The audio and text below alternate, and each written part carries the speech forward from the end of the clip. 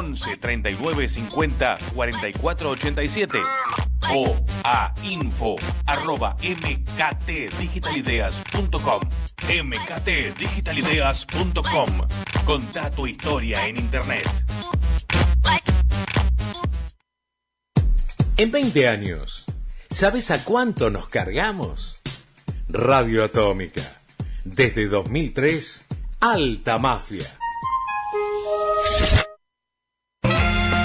Segunda temporada, segunda temporada, segunda temporada. El Abismo, segunda temporada.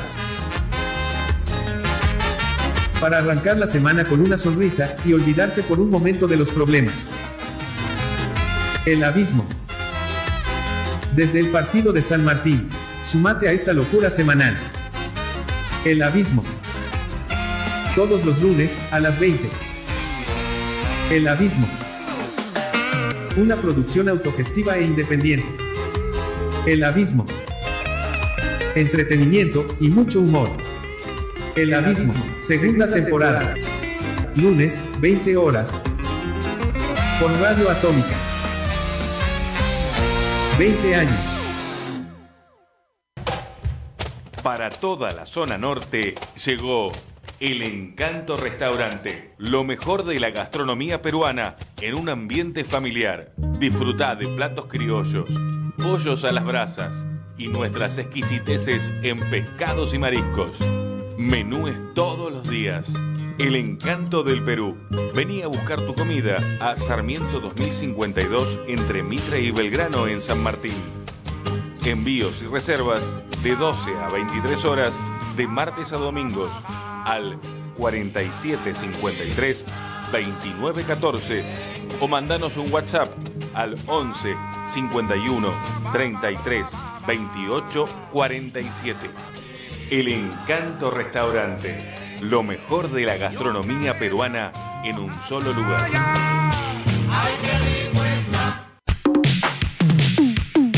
Radio Atómica este 2024 pone en tu sintonía Magazine tras el fin del mundo. Un programa en busca del después.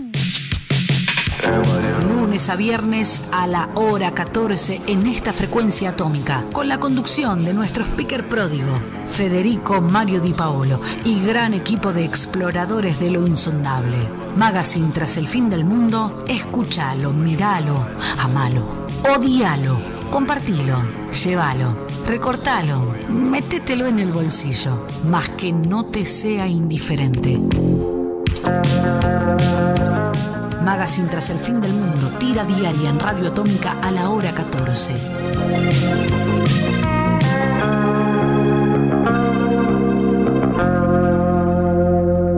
Magazine tras el fin del mundo, un programa en busca del después.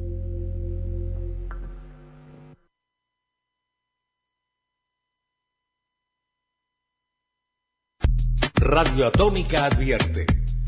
El consumo irónico nos va a matar a todos. La atención es muy importante para regalarla a cualquier hit. Usted escucha una radio libre. Consuma cuidado. Atómica. A partir de este momento y para todo el mundo, a través de www.radioatómica.com.ar, presentamos una producción independiente y autogestiva desde la República Separatista de San Martín.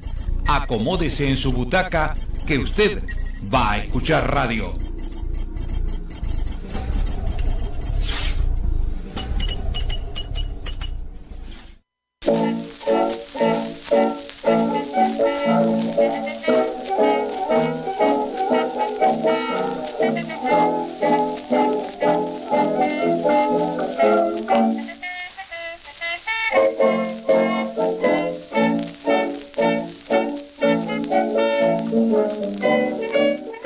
Atardecer para toda la audiencia de Jazzlandia. Estamos en Radio Atómica, que coproduce este ciclo junto a la productora Circo Bohemio, comandada por Mauro Feola, a quien le mandamos un fuerte abrazo. Y nos hallamos ya en la tercera emisión de Jazzlandia. Y la verdad que estamos muy agradecidos por todos los mensajes de agradecimiento, de apoyo que nos llegan. Quiero mencionar especialmente al amigo Mario Filippini, quien dirige un blog muy interesante. Él es de Uruguay, actualmente vive en España. La página se llama River Plate Jazz Files y cubre tanto la historia del jazz en Uruguay como en Argentina con documentos únicos. Y quiero recomendar el programa de radio que mantiene los domingos a las 23 horas, hora de España, que se llama Big Band y se emite por una radio Oasis Salamanca 105.9, pero que la pueden escuchar en cualquier parte del mundo en radiooasis.es. Y además Filippini tiene la costumbre muy interesante de subir todo a forma de podcast en iVoox. Y latina B corta OOX, para quien no conoce ese sitio. Le agradecemos porque él estuvo comentando, ayudándonos con mucho material y ha sido una de las personas que más investigaron este periodo cuando todavía no había mucha bibliografía al respecto. Antes de continuar con la programación, la selección que les hemos traído para el día de hoy, quiero hacer unas pequeñas fe de ratas y algunas aclaraciones. En el primer programa mencioné un trompetista Alberto Corbini, alias Albertino, y dijimos que no sabíamos si era italiano o hijo de italianos. Al parecer tenía hermanos italianos, por supuesto, pero nació aquí en Rosario. Aclaro eso. También quiero agradecer al baterista y coleccionista Miguel Humberto Almonacid, quien nos aclaró que el conjunto vocal de los años 30 que pasamos la vez pasada, las Dixon Sisters, en realidad solo dos eran hermanas, las Popolicio, la tercera integrante todo apunta que no era hermana. Estuvimos revisando revistas de época, pero no hemos hallado mayores precisiones al respecto. Hacer estas aclaraciones porque como siempre decimos, no hay mucha bibliografía de estos temas, está todo en construcción y por supuesto vamos a equivocarnos. Invitamos a toda la audiencia a que nos rectifique y nos sume con más datos y cosas que alienten a la reconstrucción de la historia de jazz en la Argentina. Pero arrancamos, nos zambullimos de lleno, como siempre comenzamos en los años 20. En este caso nos vamos a ir al último año de la década. Está bien que para algunos la década termina en 1930 y hacen unos líos bárbaros, pero acá somos más tradicionalistas en la cronología al menos. Y nos referimos al año 1929, entonces, con una orquesta que aunó a dos grandes de jazz argentino que recién estaban dando sus primeros pasos. Era la Armani Cóspito Jazz Band, ya hemos hablado de René Cóspito, pianista, quien venía con el grupo Los Cuatro Melódicos Muchachos, del cual hemos pasado material en la emisión pasada, material de exclusiva. Y por otro lado, Eduardo Armani fue un violinista célebre que luego fundó su propia orquesta y por el año 1928 aproximadamente, él se queda sin trabajo en un célebre local donde trabajaba de forma estable, me refiero al Tabarís, y combina a Cóspito junto a sus muchachos a fusionarse y formar la Armani Cóspito Jazz Band que grabó varios discos y vamos a escuchar un material de 1929. El tema se llama Broadway Melody. Luego lo comentamos, ahora vamos a disfrutarlo.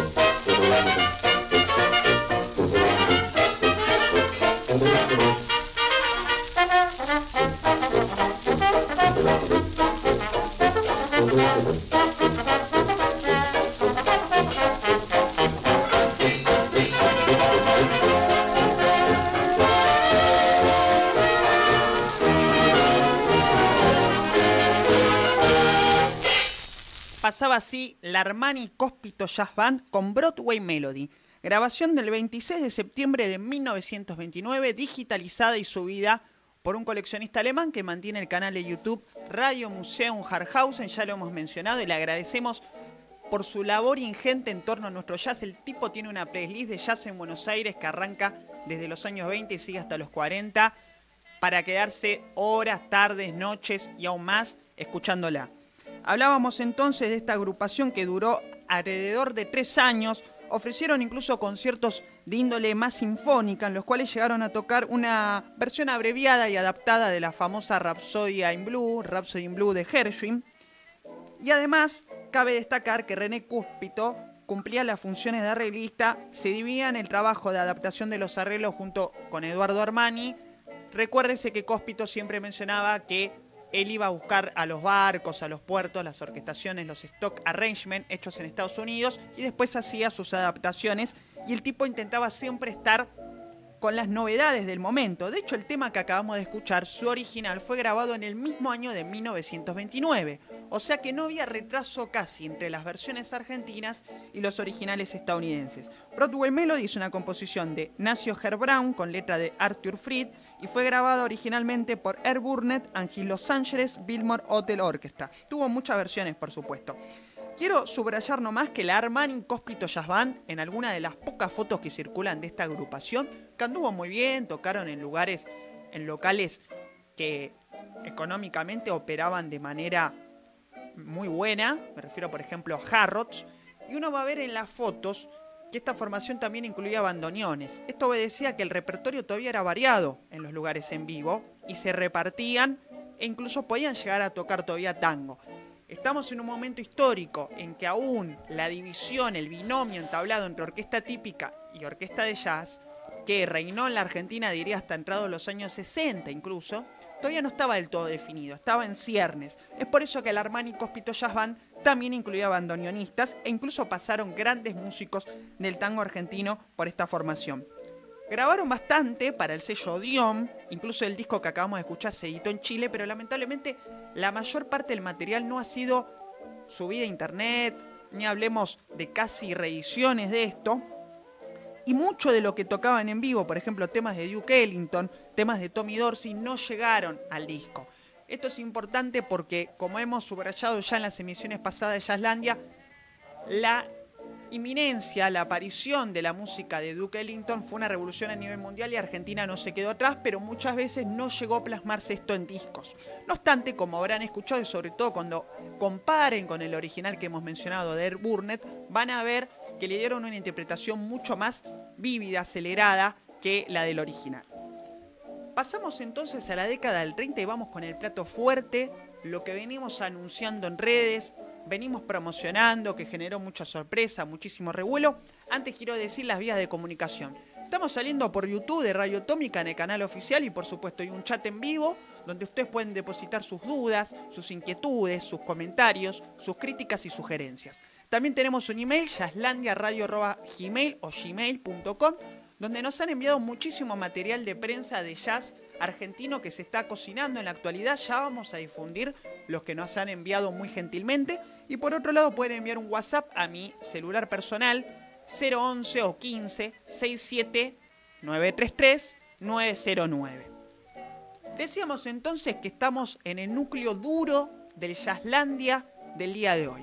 Años 30, más precisamente 1934, el registro que vamos a oír es la primera grabación de la cual al menos tengamos constancia alguna, de música espiritual, de esta música religiosa típica de los afroestadounidenses, uno de los elementos principales para el desarrollo del jazz que le siguió, pero hecha en Argentina, año 1934, por un conjunto vocal apodado, nombrado, de Blackbirds, los pájaros negros, por supuesto, y este registro fue en su momento rescatado por un gran coleccionista del jazz argentino, me refiero a Néstor Virgilio Zapere, quien hizo una especie de sello casero, donde con mucha seriedad, con mucho ahínco, digitalizó de la mejor manera posible su colección y armaba compilados. Pero Virgilio Zapere nos ha abandonado hace un tiempo, lamentablemente, y estos compilados no salieron de forma oficial y muchos son difíciles de conseguir. Y entonces le agradecemos la bondad de coleccionistas desperdigados por la Argentina cuando nos proveen de esta clase de material tan exquisito. Y en este caso, el amigo de Rosario, Carlos Marcelo Lesgar, a quien le mando un fuerte abrazo, me envió gentilmente este registro de los Blackbirds, quienes también grabaron para el sello Dion, pero que realmente encontrar un disco de los Blackbirds es casi una odisea. Este conjunto vocal grabó entonces la primera grabación de Spiritual realizada en la Argentina. El tema se llama Un Revival Day. Lo vamos a oír, lo vamos a comentar. Pero para todas las personas que piensen que no hubo Spiritual, que no hubo gospel en la Argentina, van a ver el craso error en el cual nos han querido convencer. The Blackbirds on Revival Day, año 1934, exclusivo de Jazzlandia.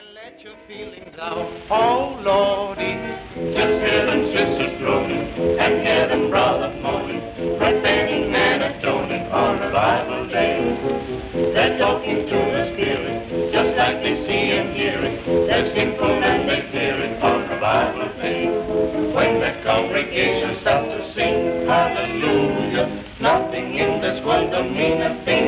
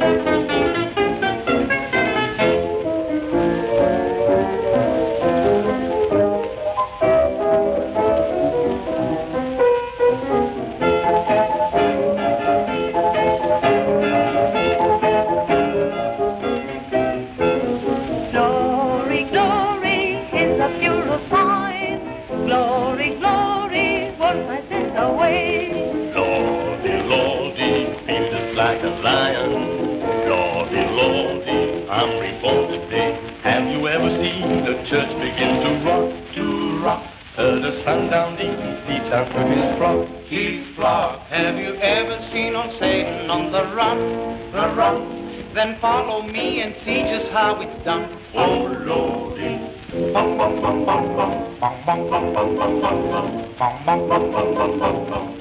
On revival day.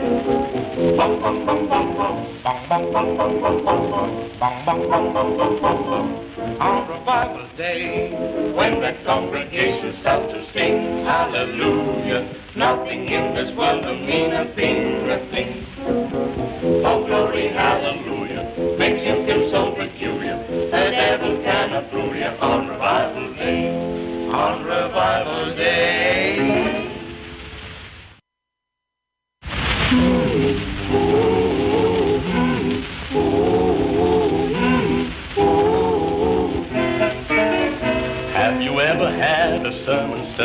Pasaron así los Blackbirds, conjunto vocal argentino, con On Revival Day, la primera grabación de un espiritual realizada en la Argentina de la cual tengamos constancia alguna. El registro fue hecho para la discográfica Odeon el 22 de agosto de 1934. Vamos a hablar un poco de la historia del original primero y después me refiero a lo que sabemos hasta el momento de los Blackbirds. Revival Day on Revival Day es un espiritual tradicional. Es muy difícil datarlos porque estamos hablando de música folclórica afroestadounidense. No obstante, ya para un año tan temprano como 1912, un dueto cómico de artistas blancos, Arthur Collins y Byron Harlan, que eran tipos representativos de todo el humor de la primera industria discográfica estadounidense de comienzo del siglo XX, relacionados por supuesto con el vodevil, con la tradición racista del minstrel show, y ellos se especializaban en hacer imitaciones de diversas colectividades y sobre todo de los negros en lo que se llamaban las coon songs. Coon era un término racista para hablar de los negros, significa mapache, y las coon songs eran muy populares en la época donde se imitaba diversas cosas de los negros, no solo el acento, sino también incluso en las letras se referían a tradiciones de ellos. Eh, este dueto de Collins y Harlan adaptan On Revival Day para At the Libby On Revival Day, y si bien hicieron modificaciones, claramente es el mismo tema e incluso hacen una especie de recreación satírica de lo que sucedía en las iglesias negras. Luego ya, en 1921, una agrupación femenina, el Virginia Female Jubilee Quartet, estamos hablando de agrupaciones importantísimas en la historia del espiritual, del gospel, realizan ese año la primera grabación de On Revival Day como tal. Posteriormente, en 1926, el Norfolk Jubilee Quartet realiza otra grabación. En ese caso hablamos de un cuarteto de voces masculinas. ¿Cómo llega a la Argentina? La cuestión es que un compositor profesional, pero afroestadounidense, el Andy Razaf, realiza una composición en base al espiritual, aunque bastante fidedigna, solamente que la piensa con vistas a que la graben orquestas. Esta composición se tituló del mismo modo, On Revival Day, pero le hizo una especie de subtítulo que traducido es un espiritual rítmico. La mejor descripción de lo que acabamos de escuchar, claramente. La grabación original fue hecha en 1930 por Rip Bloom and His Basho Boys, pero también hubo una grabación de la gran Bessie Smith junto a The Bessener Singers. La grabaron muchísimos artistas, por lo cual yo infiero que fue un éxito en los Estados Unidos. Y en 1934 la graban en Argentina los Blackbirds. ¿Cuál fue la referencia sonora de los Blackbirds? Hemos tomado el trabajo desde la producción de Jazzlandia de escuchar todas las versiones posibles de On Revival Day hechas en la historia y claramente ellos tomaron como referencia, y subrayo lo de referencia porque no hicieron una adaptación mimética y hubiera sido imposible incluso si lo hubieran querido hacer, ahora explicamos por qué. En esa época la agrupación, de la cual ya hemos hablado bastante, Red Nichols o Red Nichols and His Five Pennies, traducidos acá como sus cinco monedas, hicieron una versión soberbia de On Revival Day que ocupaba los dos lados de un disco de 78 revoluciones por minuto. Una versión extendida que hace una recreación no presente en las otras rendiciones de On Revival Day, salvo la de la Kun Sanders Orchestra, pero que no llega al extremo, al nivel de Red Nichols and His Five Pennies, hacen, decíamos, una recreación de lo que sucede en una iglesia negra con coro, conjunto vocal, pero desde el prisma de una orquesta jazzística con solos incluidos.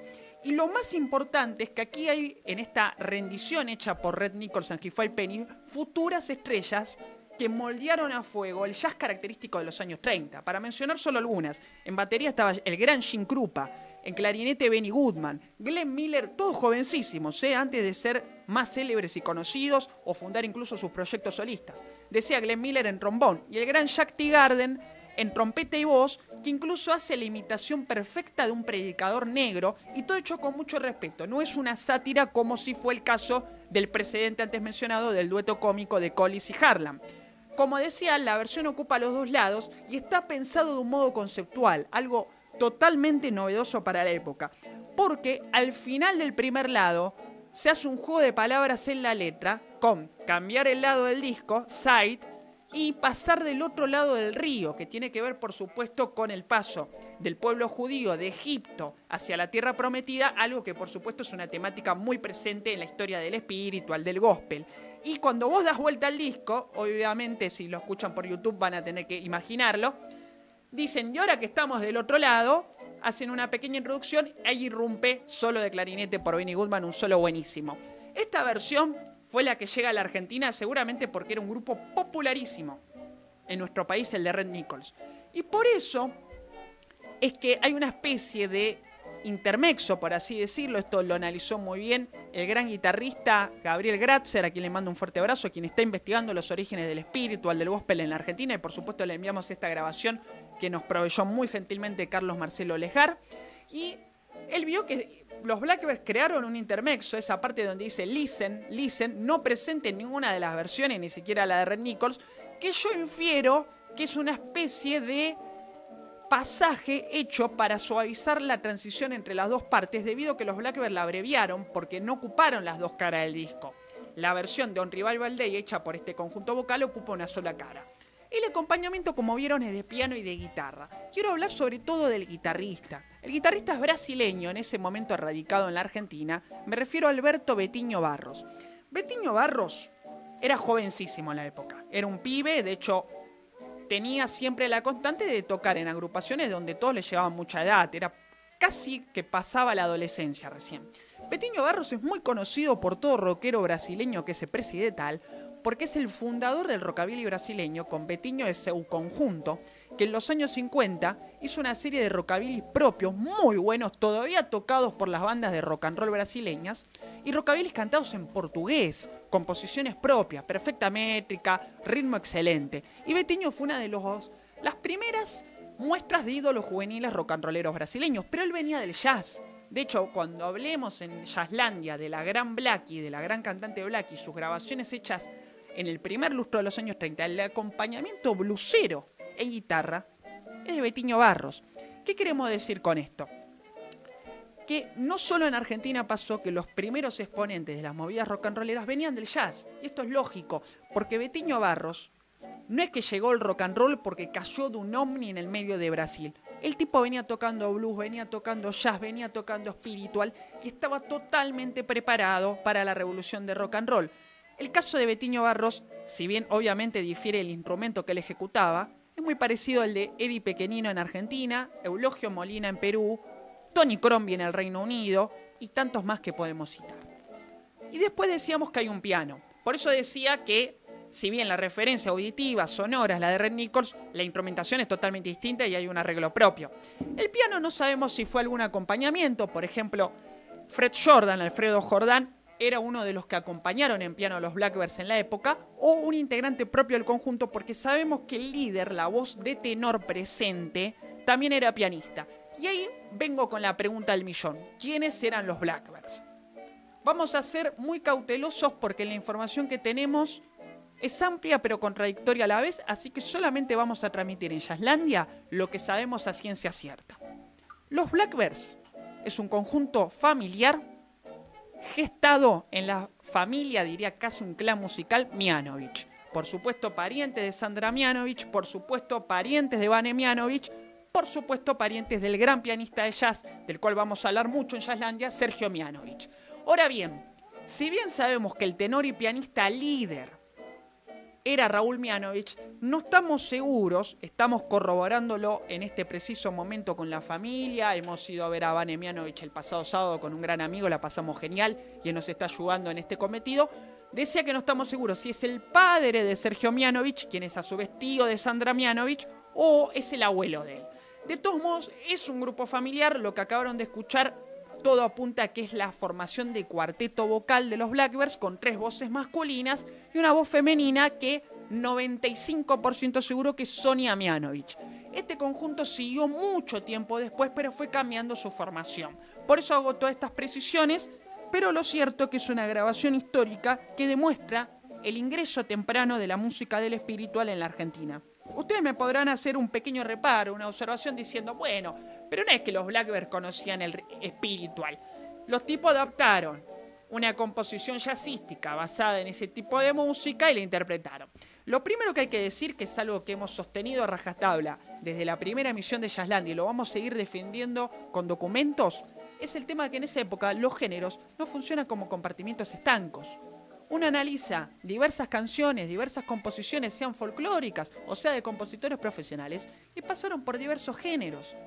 Pasaron tanto por el jazz como por el blues, como por el espiritual, el country, y etcétera, etcétera. Voy a mencionar un solo ejemplo. Conocerán como uno de los más eh, emblemáticos rock and rolls de los comienzos del género, Knocking de Little Richard tema del cual Led Zeppelin, muchos años después, toma la intro de batería para el clásico tema de Led Zeppelin 4, me refiero a rock and roll. Ahora bien, Keep Knocking se venía grabando desde los años 20, no era un tema de Little Richard. Si uno analiza la melodía principal de Keep Knocking, se puede remontar hasta 1914 con un blues llamado Long Lost Blues, compuesto por el clarinetista y violinista afroestadounidense Paul Wire o Weir, a quien vamos a mencionar bastante en el programa, porque luego se fue a vivir a la Argentina, fue uno de los pioneros del jazz argentino, uno de los músicos más exitosos del jazz argentino cuando fue codirector de la orquesta Dixie Pulse, y murió acá. De hecho, esas paradojas del destino, él nació en Florida, en Estados Unidos, y murió acá en Florida, en el conurbano norte bonaerense.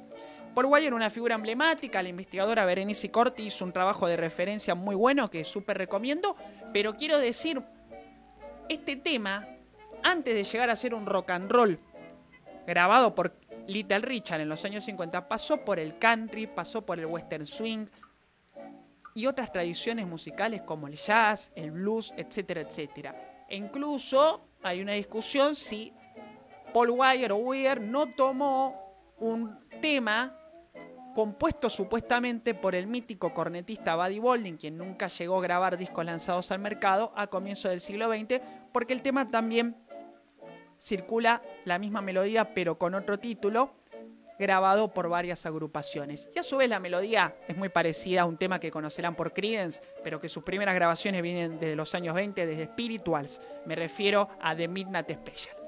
Así que pasaban así los Blackbirds, familia Mianovich, conjunto vocal, grabando música espiritual en el 34. Y quiero decir que si bien nunca lo grabaron, hemos corroborado en la revista Swing del año 37, una publicación argentina especializada en jazz, que los tipos tocaban spirituals en vivo, por lo tanto sabían muy bien de lo que se trataba, y uno de esos títulos era un clásico tremendo, Swing Long, Sweet Chariot, que por supuesto se remonta al siglo XIX. Así que lo que acabamos de oír de los Blackbirds no es una mera casualidad. Era un conjunto vocal, el primero de muchos, después vendría el cuarteto Gómez Carrillo, que todos lo identifican con el folclore, pero en realidad era una agrupación que grabó muchísimo espiritual, que tocó mucho en vivo. Los Blackbirds inauguraron esta tradición. Ahí nuestra operadora Estrella Mel levanta la mano, creo que llega algo desde el chat de el YouTube de Radio Atómica, ¿puede ser? ¿Cómo así, estás? Así es, eh, bien, vos. Tranquilo. Eh, elijo interrumpirte porque viene el caso de la canción que se está que estás hablando ahora. Eh, primero Circo Bohemio dice Viva Yaslandia y acá Miguel Humberto Almonacid dice Andy Razaf acompañado por la orquesta de Luis Russell, no sé si lo dije bien, se dio el gusto de cantar, digamos cantar, on Revival, on Revival Day eh, el 29 de enero de 1930. Perfecto. Como decimos, Miguel es un erudito y agradecemos siempre su generosidad. Porque hay mucha gente que conoce mucho, pero lamentablemente se ha guardado el material, la información y Miguel constantemente nos asesora y nos informa. Así que un fuerte abrazo y también un cálido apretón de brazos y manos para el amigo Circo Bohemio, la productora que junto a Radio Atómica coproduce Jazzlandia. Vamos a seguir entonces, pasó la bomba, pero todavía tenemos mucho material de excelente calidad. Pasamos a los años 40. La emisión pasada hemos hablado de la iniciativa autogestionada de los músicos de la agrupación Nuevo Jazz, la cual se gestó, se desarrolló comienzo de los años 60, en el primer lustro de esa década. Pero hay otro precedente de independencia de autogestión discográfica por parte de los músicos argentinos que se remonta en este caso a la década del 40. Me refiero al sello Síncopa y Ritmo, que fue fundado por Fernando Iriberri, quien era el capo el director de la revista de jazz, la primera publicación argentina especializada en el género, llamada también Síncopa y Ritmo. Por supuesto, Fernando Iriberri mantenía un local del mismo nombre. Y este gran difusor, gran protector del jazz argentino, gesta en los años 40 un sello propio, Síncopa y Ritmo. Grababan en los estudios de RCA Víctor, probablemente si la distribución llegaba a alguna disquería, cosa de la cual no estoy seguro, a mí me parece solamente se vendían en el local de Síncopa y Ritmo, se encargaba también RCA Víctor de la distribución, porque eso pasó incluso con los sellos independientes. Por ejemplo, siempre se habla de Mandioca, que fue una gran iniciativa de Álvarez, de Jorge Álvarez a fines de los años 60, pero cabe destacar, esto dicho por músicos testigos de la época, de la talla Rodolfo Garabaño, que Mandioca no tenía distribución propia. Se tercerizaban, no es correcto el término, pero voy a utilizarlo porque es el más gráfico, a través de discográficas que sí poseían eso. Quiero decir esto siempre, la autogestión musical, más en esas épocas, tiene sus límites fácticos y económicos y logísticos y materiales. El sello Sincopa Ritmo, comandado por Fernando Iriberri, le permitió a un montón de yaceros locales despacharse a gusto, grabar la música que más les gustaba. Fue un poco una continuación en espíritu de la iniciativa hecha en 1936 por Odeón, pero supervisada, ideada por Carlos Sandoval, de quien hemos hablado, uno de los primeros periodistas del jazz argentino, Carlos Alberto Sánchez Reynoso, hermano él del gran banjoísta y guitarrista Raúl Sánchez Reynoso. Y en ese sentido, Sincopa y Ritmo permitió en los años 40, con una serie extensa de discos, han quedado incluso inéditos, vaya a saber dónde, permitió a los yaceros del primer lustro de los años 40 grabar testimonios reales y fidedignos de la música que más les gustaba a ellos. Vamos a escuchar entonces el octeto síncopa y ritmo, después vamos a contar un poquito quiénes son los músicos escondidos detrás de esta formación, con un clásico de Darktown Stratters Ball, que en la época solía traducirse como el baile de los negritos. Viene entonces así, octeto síncopa y ritmo en Jazzlandia.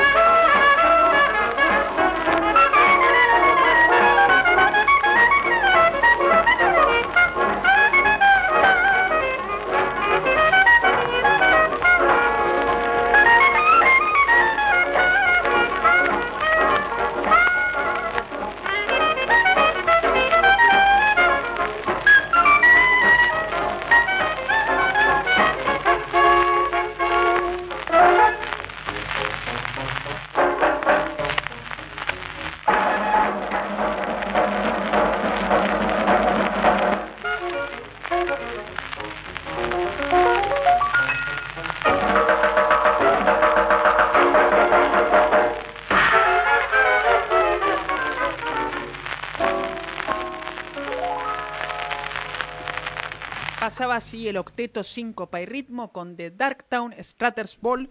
La grabación pertenece al año 1942 con la fecha del 22 de mayo. Fernando Iriberri, el capo del sello Síncopa y Ritmo, era un coleccionista empedernido. Y gracias a eso es que el tipo en la oblea, en la galleta, lo que los estadounidenses dicen label de los discos, ponía no solo el título de la agrupación, sino los músicos participantes y la fecha de grabación, un documento exquisito. Piensen que son placas muy difíciles de hallar. Yo tengo una sola tras años de buscar. Y esta digitalización fue enviada por un coleccionista estadounidense, Bob Decker, a quien le mando un fuerte abrazo. Me la envió gentilmente por email ya hace un tiempo.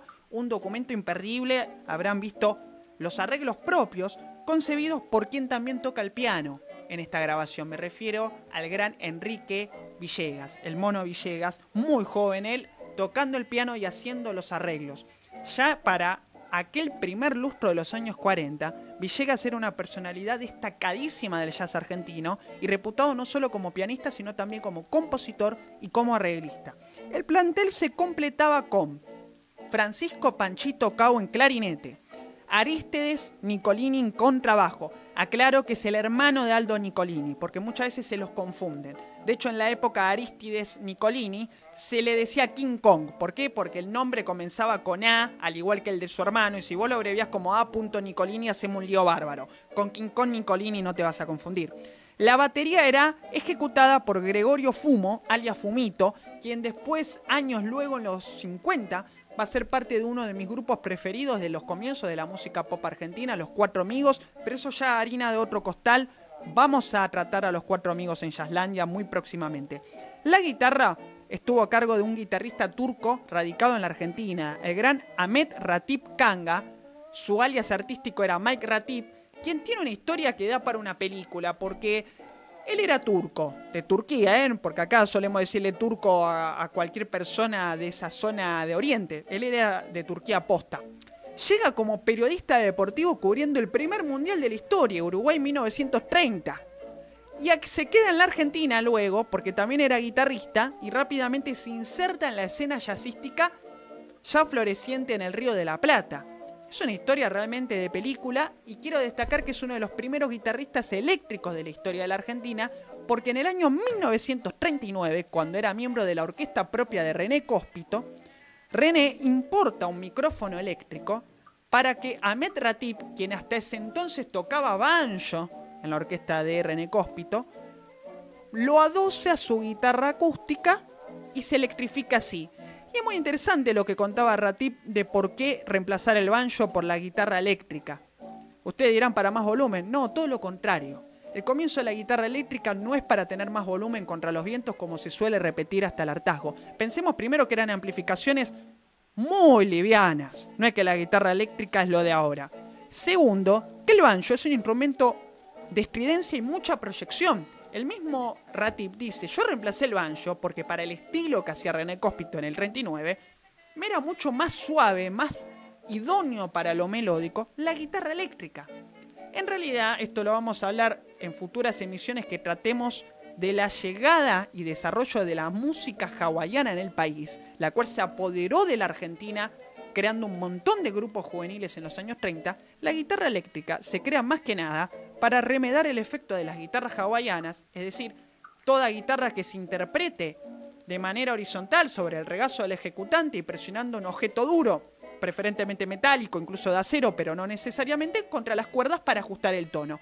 La guitarra hawaiana no solo se apoderó de Hawái, por supuesto, de los Estados Unidos de América en su terreno continental, no solo que despertó una pasión en los jóvenes adolescentes argentinos que formaban conjuntos hawaianos, tal como después formarían conjuntos de rock and roll a fines de los 50 y comienzos de los 60, sino que en lugares tan remotos como Grecia y Kenia hubo ídolos locales de la guitarra hawaiana en los años 20 y 30.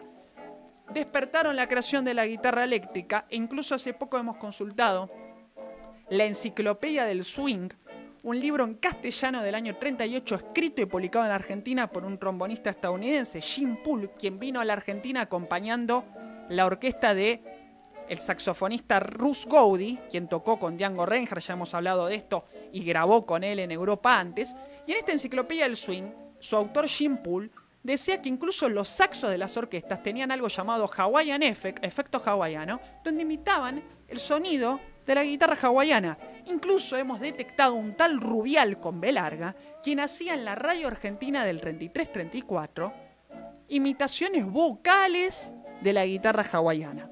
Por lo tanto, esto nos sirve para contextualizar realmente cuál fue el aporte de la guitarra eléctrica en aquellos años. Seguimos repasando entonces el octeto de síncopa y ritmo.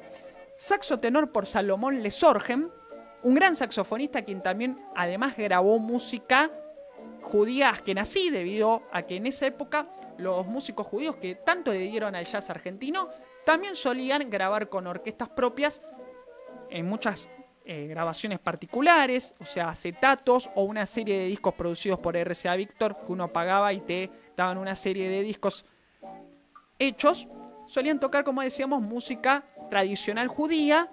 En este sentido hubo toda una tradición también de música cantada en yiddish, de la cual no hay casi bibliografía, pero hay una gran investigadora, Zulema Benveniste, quien está reconstruyendo la amplísima grabación de registros en yiddish hechos en la Argentina. Ustedes piensen que Argentina es el segundo, eh, llegó a ser el segundo país con más hablantes de yiddish en el mundo y también que en el año 57 se hizo una versión del clásico de Bill Haley de su repertorio Rock Around the Clock en yiddish, hecha por un cómico Simón Nussbaum, radicado en la Argentina.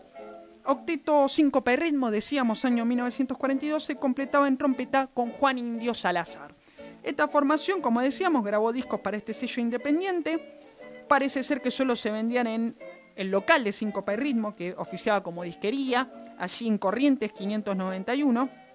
Ese local eh, era Fernando Iriberri y compañía.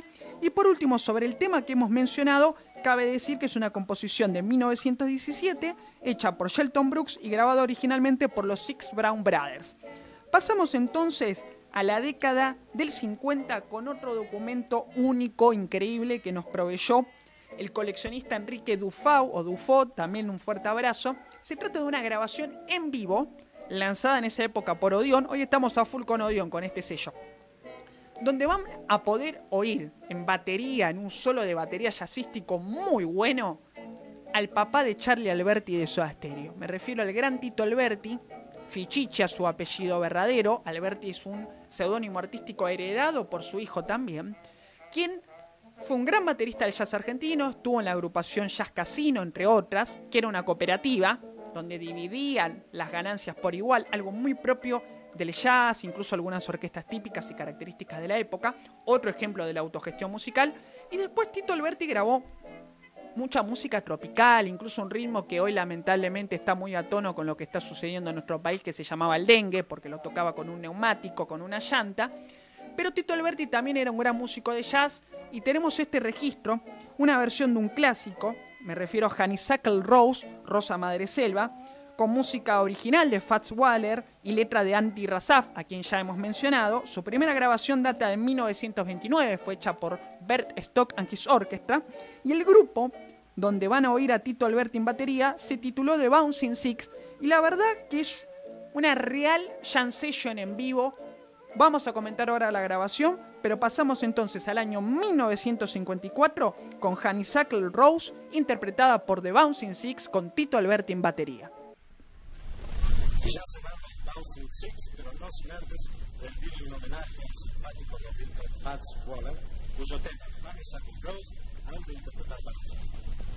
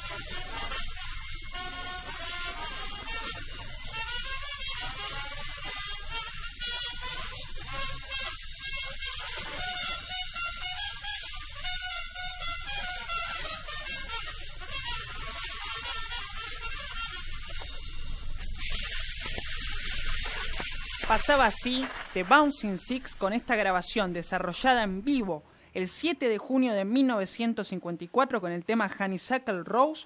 Este registro fue hecho dentro del Hot Club de Buenos Aires y formó parte de un disco de 10 pulgadas de vinilo ya, concierto en el Hot Club de Buenos Aires volumen 2. Fue una serie muy rica, pero que lamentablemente no ha sido reeditada y aparte es un testimonio de lo que realmente eran capaces de hacer los músicos de jazz argentinos en el primer lustro de los años 50 en vivo. Agradecemos, por supuesto, al coleccionista Enrique Dufau o Dufo por enviar gentilmente este material y quiero adentrarme en la formación de The Bouncing Six. Hemos dicho, por supuesto, que está presente el gran Tito Alberti en batería, padre de Charlie Alberti. Pero además de esto, estaban Hernán Oliva en violín, de quien hemos hablado ya, eximio violinista chileno radicado en la Argentina, Enrique Lynch en piano, quien después migra al Perú, se convierte a comienzos de los años 60 en una de las figuras rectoras de la nueva ola peruana, uno de los movimientos de nueva ola más importantes de Iberoamérica. The Bouncing Six se completaba luego con Emilio Manzanita Méndez en contrabajo y Juan Chinisi, quien a veces usaba el apodo de John Chinisi, en trombón. A excepción del contrabajista Manzanita Méndez y del pianista Enrique Lynch, todos los miembros citados eran miembros de aquella agrupación de índole cooperativa, donde dijimos que Tito Alberti tocaba batería, llamada Jazz Casino. La Jazz Casino, si bien grabó material jazzístico, por ejemplo versiones de temas como Tiger Rack, grabaron música tropical y otras corrientes que estaban muy en moda en el primer lustro de los años 50, a las cuales las orquestas de jazz se estaban dedicando motivadas por los compromisos contractuales, las demandas de los bailarines y etc. Esto, como hemos dicho ya, provocó un debate en el seno intestino del jazz argentino bastante fuerte que se enlazaba con discutir si no se estaba comercializando la cosa. Pero además de esto, los registros de la Jazz Casino, entre otras orquestas, que tampoco que sean muy fáciles de conseguir, han motivado que muchas personas sostengan de una manera, a mi juicio, bastante liviana y superficial, que los músicos de estas orquestas de jazz no eran jazzeros, que no tocaban jazz, como si jazz fuera en la Argentina de aquel momento solamente un término utilizado para designar una orquesta con vientos y batería que tocaba un repertorio distinto al predominante en las orquestas típicas abocadas al tango, a la milonga y en menor medida al vals. Esto no es así, la mayor parte de los músicos de las orquestas de jazz que se dedicaban a estos géneros eran jazzeros de alma y en algunos lugares, sobre todo los clubes de jazz, podían tocar la música que realmente amaban y este registro es contundente al respecto. Nadie puede tener dudas al escuchar el solo de batería de Tito Alberti sobre su amor al jazz. Quiero subrayar además que Tito Alberti en esa época donde todavía no había parches de plástico, eran parches de cuero, inventó una batería que tenía luces eléctricas para que con sus filamentos los parches de cuero se calentaran y de esa manera no hubiera problemas ante motivos como la humedad que provocaran desbarajustes, desafinaciones que impidieran a la Jazz Casino tocar en vivo. Esto, por supuesto, Miguel eh, Almonací, que es baterista, lo puede explicar mucho mejor. Hay una foto subida por Charlie Alberti testimoniando esta batería pionerísima de Tito Alberti. Subrayar también que el hermano de mm, Charlie Alberti es otro gran músico, Andrés Alberti, él estuvo en la gran banda de culto de los años 90 de nuestro rock, me refiero a Santos Inocentes. Y quiero rematar sobre The Bouncing Six con esta descripción perfecta y exacta de un baterista enorme, también cantante y compositor, pionero del rock argentino en castellano, con composiciones propias, pero además un exponente del jazz hasta su partida física acaecida cuando él tenía 86 años, si no me equivoco. Me refiero a Jorge Mario Rodríguez, alias Jerry, un gran amigo. Le mandamos un abrazo donde quiera que él se encuentre en este momento. Y él nos contaba en su momento si bien las orquestas argentinas de jazz no eran estrictamente cultoras ortodoxas del mismo y por razones económicas abordaban otros géneros populares tales como ritmos caribeños, zambas y marchas brasileñas, boleros y baladas italianas, sus componentes eran en su mayoría destacados músicos de jazz. En la Jazz Casino estaba el pianista José Finkel, considerado por las revistas especializadas de la época como el mejor pianista Dixieland. el trompetista Julio Roth, uno de los grandes improvisadores de ese entonces. Lo mismo que el bebé Chinisi, saxo alto yacero muerte, reemplazado luego por Paquito Freigido, uno de los mejores clarinetistas argentinos. Este comentario demuestra a la perfección lo que queremos subrayar en Jazzlandia. No siempre el registro discográfico testimonia exactamente cómo fue la realidad en los vivos. Y cierro sobre The Bouncing Six con el texto de la contratapa, explicando que en la rendición de Honeysuckle Rose emprendida por este conjunto, dentro de un clima de verdadera jam session se desarrolla la acción de los Bouncing Six, tomando solos por orden de sucesión Julio Roth, Hernán Oliva, de nuevo Roth, Chinisi, Lynch y Tito Alberti. Quería mencionar eh, la presencia que me olvidé de citar, también integrante de la Jazz Casino, del trompetista Julio Rottenberg, Julio Roth. Yo tengo contacto con su hija Ana, a quien le mando un fuerte abrazo, quien estuvo presente también en este registro excelente de The Bouncing Six. Se va así entonces la tercera emisión de Jazzlandia. Muy agradecido a los comentarios. Mel, no sé si quieres leer alguna misiva que nos ha llegado en el éter cibernético antes de despedirnos. Ha llegado acá otro mensaje en el chat de la transmisión en vivo del canal de YouTube de Radio Atómica Televisora. Eh, un usuario Goodman dice, brillante, se decía que Bing Crosby visitó a la familia Mianovich en una visita a la Argentina, tenían una sala de música en un subsuelo. Espectacular el comentario del amigo Goodman.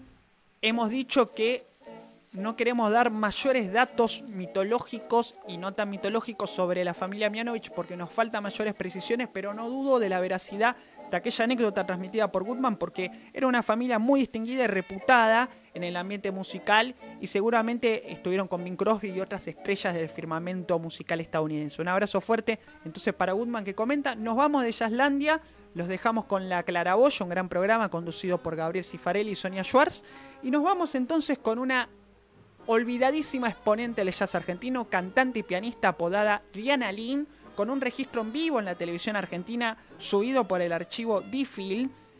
Ella van a escucharla cantando de forma solista, acompañándose a sí misma de piano, su nombre verdadero, Isolina Marquesa Suárez. Ya hablaremos mucho de Diana Lim, pero los dejamos entonces con este registro sonoro, interpretando dos temas que hemos enganchado para disfrutar la obra de Diana Lynn que pocas veces ha llegado al disco. Me refiero a The Can't Take That Away From Me y por otro lado April in Paris, Abril en París. Se va a Jazzlandia, les habló Víctor Tapia, producción de Circo Bohemio y Radio Atómica. Nos vemos el jueves que viene a las 8 de la noche. Abrazo grande.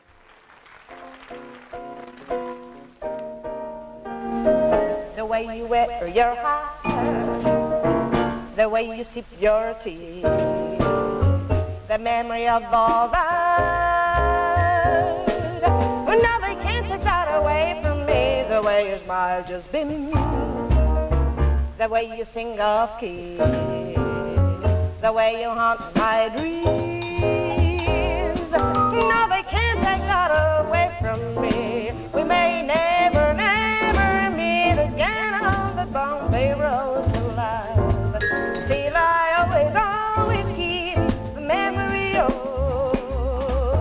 way you haunt my dreams, the way you changed my life, the way you haunt my dreams. No, they can't take that away from me. No, they can't take that away from me. We may never, never meet again on that bumpy road to love.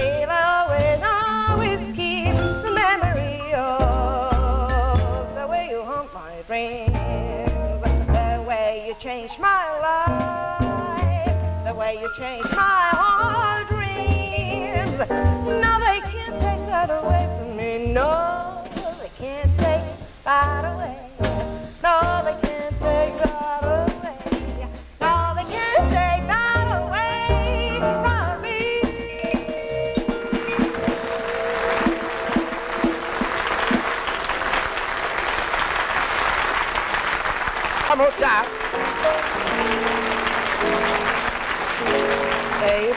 Paris, chestnuts in blossom, holiday tables under the trees, April in Paris. This is a feeling that no one can ever.